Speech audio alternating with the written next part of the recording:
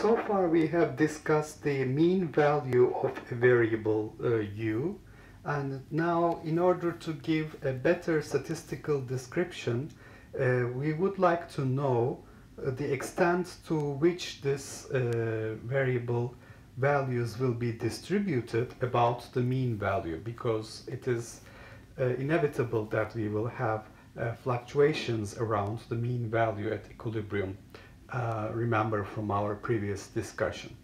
So uh, we are after a measure of extent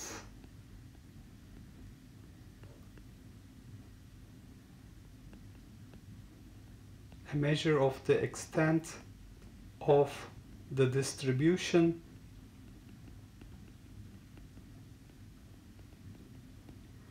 about the mean value. So the first candidate uh, you can think of is uh, delta u, which is defined as the difference between the value of u minus the mean value of u. So this is the definition of delta u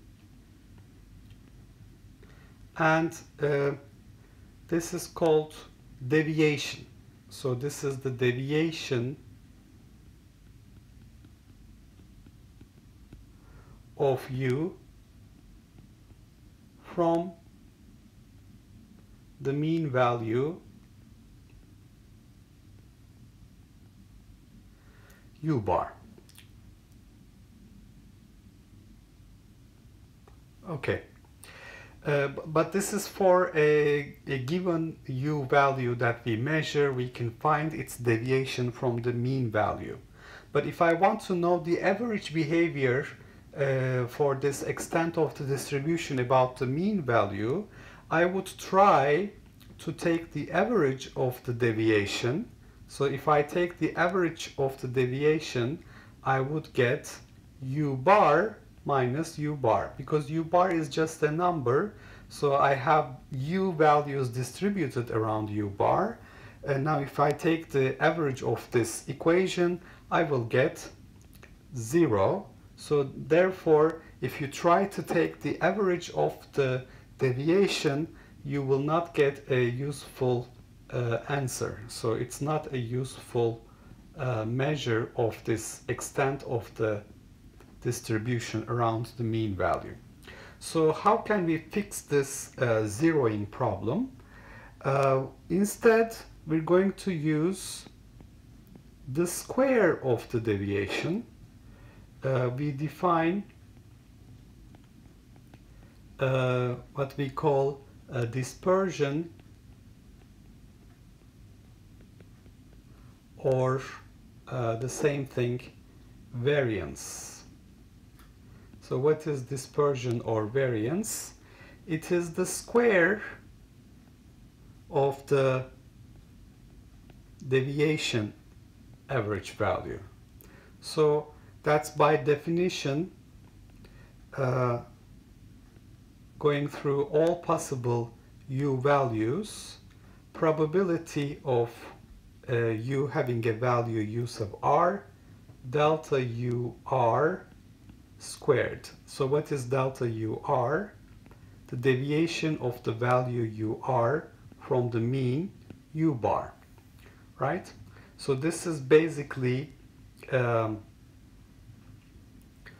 um, a function of u we're looking at. So we're trying to find uh, the square of this function. So uh, delta u um, squared would be u minus u bar squared, which is another function of uh, u, because u bar is just a number, and then we're looking for delta u squared average, that's the average value of this function g of u.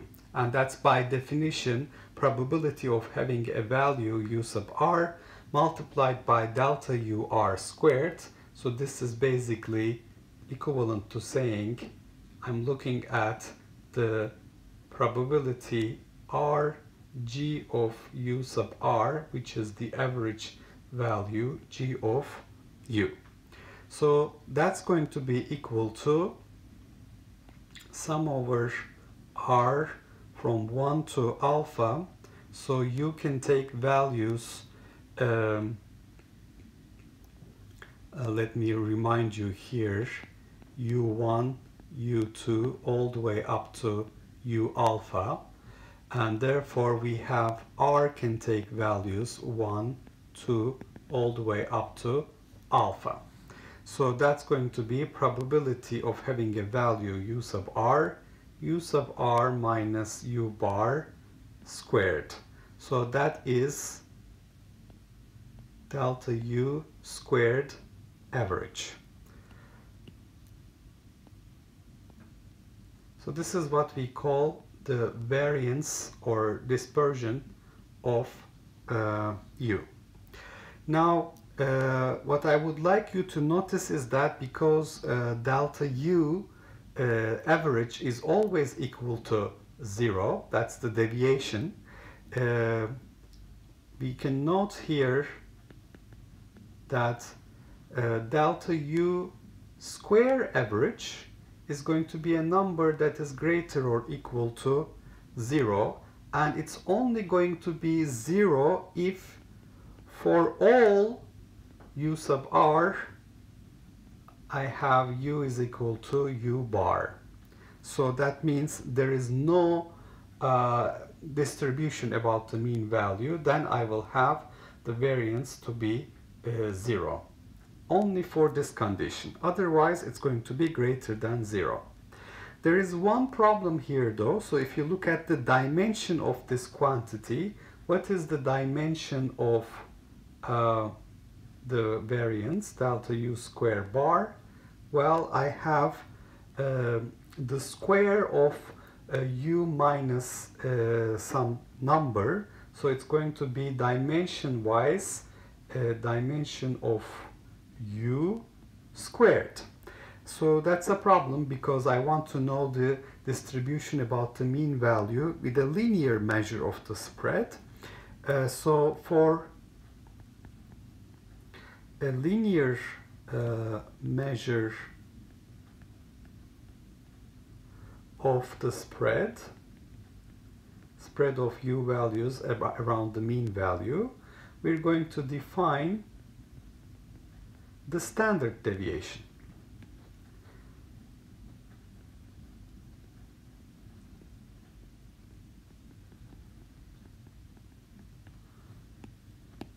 Okay, what is standard deviation? So basically my task is now to fix uh, this dimension problem, uh, the average value of the delta u squared, average value of deviation squared, that is uh, dispersion or variance, has the wrong unit. It's the, it has the unit of u squared.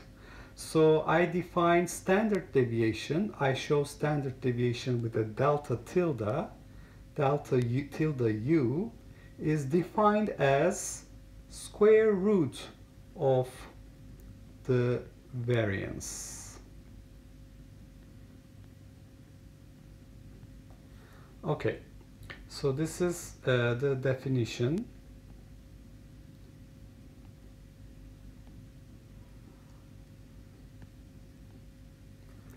Um, now, what is important here is that uh, you need to keep track of the, the order with which the operations are performed. So going from top to bottom, uh, we, we see that we're taking a square root, a mean, and a square. So this is called also RMS, root mean square operation. And what does it physically mean?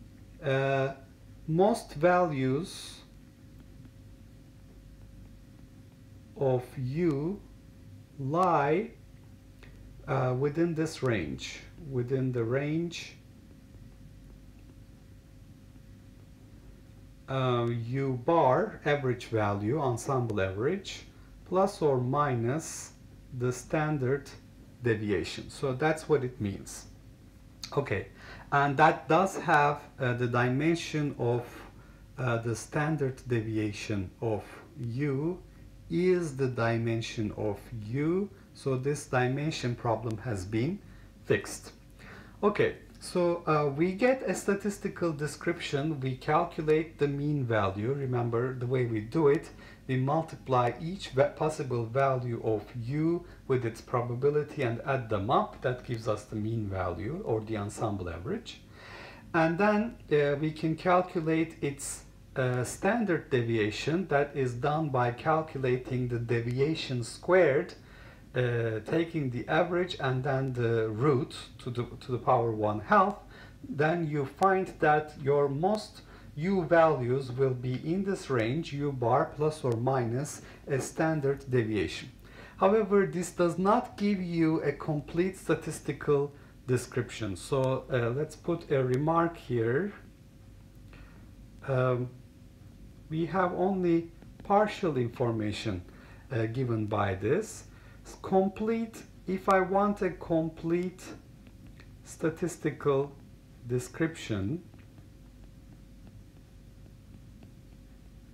what I need to know is the following. All possible values of u, u1, what is the probability of having a value uh, u1, u2, what is the probability of having a value u2, all the way up to u alpha, what is the probability of having a value u alpha. So we need to list all possible values, all possible u values and corresponding probabilities. So this is the complete statistical description. Uh, so we have u sub r, p sub r pairs for all r values.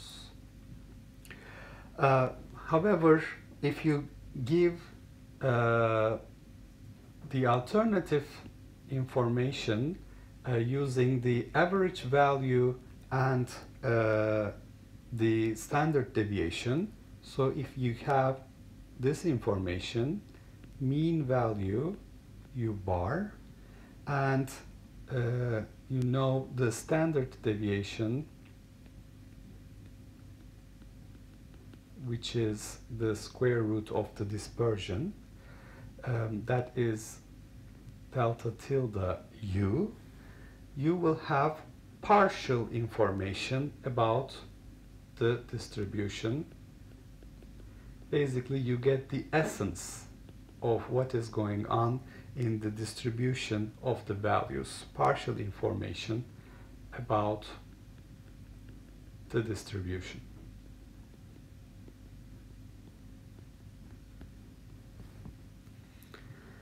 We're going to give a concrete example in the next video using an ideal spin system. We will calculate the mean value and standard deviation and then we will see what we get for n equals capital N equals 4 total number of spins uh, of 4 in an ideal spin system.